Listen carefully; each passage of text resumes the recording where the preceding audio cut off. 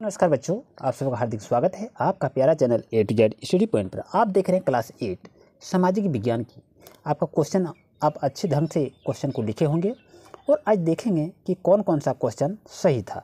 जैसा कि आप देख पा रहे हैं, यहाँ लिखा है, प्रश्न एक से दस तक के लिए चार विकल्प दिए गए हैं। उनमें से सही उत्तर चुनना है।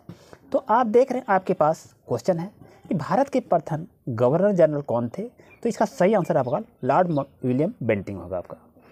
दो नंबर में है, टीपू सुल्तान किस राज्य के शासक थे? तो आपका सही आंसर मैसूर होगा। और यहाँ क्वेश्चन नंबर तीन देख रहे हैं रेत वाली व्यवस्था लागू करने का श्रेय किसे प्राप्त है? तो सही आंसर आपका क्या होगा? तो इसका सही आंसर होगा टॉमस मुंड्रो। और ये देख रहे हैं, ये चार नंबर है, भारत में पहली सूती कपड़ा मिल अठारह में कहाँ स्थापित हुई थी? सही आंसर होगा मुंबई। और यहाँ पर देखें तो किस तिथि को भारत गणतंत्र हुआ था, घोषित हुआ था? तो छब्बीस जनवरी 1950 को सही आंसर होगा। छः नंबर देख रहे हैं, झारखंड में लोकसभा के लिए कितने सदस्य चुने जाते हैं तो सही आंसर चौदह सीट होगा। और सात नंबर क्वेश्चन की बात करें, भारतीय न्यायालय के शीर्ष पर कौन सा अदालत होगा तो सर्वोच्च न्यायालय इसका सही आंसर होगा। ये सभी वीडियो को हम पहले बना दिए थे, लेकिन आप लोग कहते थे वो क्वेश्चन नहीं आएगा। ये देखिए, जितने भी क्वेश्चन थे, जितना पढ़ाएँ टोटल क्वेश्चन वही आपका आंसर दिया हुआ है। उम्मीद है आप अच्छी तरह से लिख लिए होंगे। नेक्स्ट क्वेश्चन को देख रहे हैं कि केरल के तटीय रेत में पाए जाने वाला मोनोजाइट किस प्रकार का संसाधन है? तो ये आपका जान रहे हैं कि नहीं?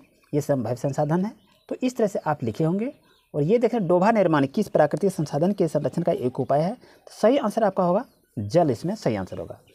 और दस है, विश्व का सबसे बड़ा कोयला उत्पादक देश कौन सा है? तो ये आपका चीन होगा। और ये सारे क्वेश्चन को देखें, ये आपका बिरसा मुंडा का जन्म कब हुआ था? तो अठारह सौ पचहत्तर में हुआ था।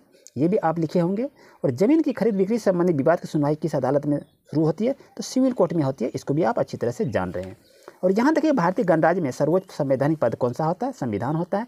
ये भी आप लिखे होंगे। और यहाँ पर देखें कि भारतीय कृषि में, भारत में कृषि का कौन सा स्वरूप प्रचलित है? मानसून होगा। और यहाँ देखें संसाधनों का उपयोग करने की आवश्यकता और भविष्य के लिए संरक्षण, संतुलन बनाए रखने की क्या क्या आवश्यकता है? क्या कहलाता है? वो भी आप लिखे होंगे। और ये देखें चार फूट की नीति का पत्र भी ये आ गया है। और यहाँ देखें लॉर्डोलॉजी की हड़प नीति का भी क्या था? इसका परिणाम, ये भी क्वेश्चन को पूछ दिया गया है। अब यहाँ पर क्वेश्चन देखें। यहाँ भी इसको अच्छी तरह से आप लिख लिए होंगे।